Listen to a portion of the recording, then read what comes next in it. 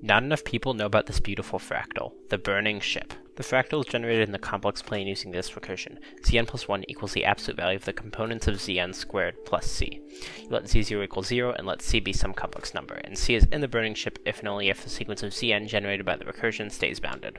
For example, if c equals negative 1 half plus 1 half i, then the sequence goes 0, negative 1 half plus 1 half i, negative 1 half plus i, negative 5 fourths plus 3 halves i, and so on. This particular number ends up going to infinity, so it isn't in the set, but if I instead pick negative 1 half minus 1 half i, the sequence ends up bounded, so negative 1 half minus 1 half i is in the set. Note that in a lot of these visualizations, we're flipping the fractal upside down, because it looks nicer.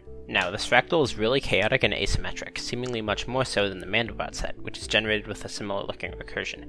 This is because the recursion we're using is actually a really unnatural operation for complex numbers. In technical terms, it's not analytic, which makes it much, much harder to study. But just because it's weird doesn't mean it isn't really cool.